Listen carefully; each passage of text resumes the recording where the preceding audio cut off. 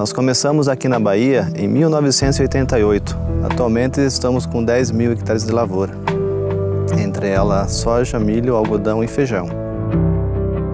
Essa propriedade tem 1.001 hectares de reserva legal, totalmente regularizada pelos órgãos ambientais.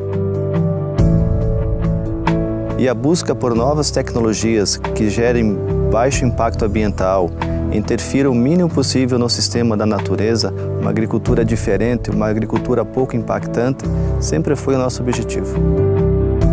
O bem-estar da natureza, o bem-estar dos funcionários, o bem-estar da planta é a nossa meta.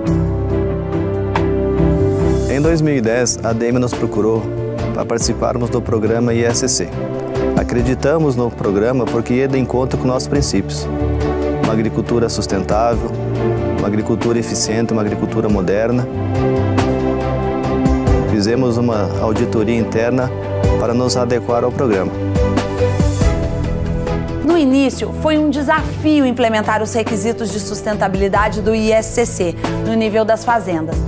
A mudança de mentalidade dos fazendeiros teve de ser alcançada para que tivéssemos condições para iniciar as auditorias. Todas as adequações nós fizemos nesse período. Esse programa vem nos auxiliando a implantar novas melhorias no nosso processo e principalmente na questão de segurança dos nossos colaboradores certificação ISCC tem impacto direto nas fazendas. Vimos, por exemplo, melhorias no manuseio e armazenamento de defensivos agrícolas, treinamentos para o pessoal que lida com estes defensivos e investimentos em instalações de alojamento e refeitório para os trabalhadores rurais.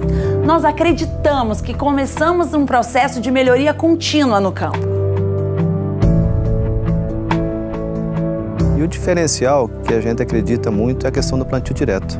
É um sistema que incorpora a palha no, no, no processo produtivo, ajuda muito nessa questão de sequestro de, de carbono, redução de máquina, redução de consumo de combustível, uma melhor eficiência dos herbicidas, das práticas que a gente faz. A importância de ter uma fazenda auditada e participando do programa ISCC, que permite você acesso a novos mercados, especialmente ao mercado europeu clientes europeus e americanos estão cada vez mais solicitando soja produzida de forma sustentável. Hoje temos mais e mais pedidos de mercado de alimentos e ração. Promovemos o diálogo dos stakeholders, o que é muito importante para o ISCC nós nos encontramos regularmente para discutir como o ISCC está sendo aplicado na América do Sul.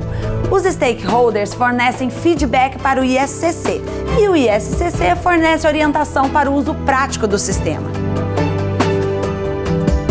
Como mensagem final, eu queria deixar a nossa satisfação por estar fazendo sempre mais e melhor pela agricultura baiana e pela agricultura brasileira.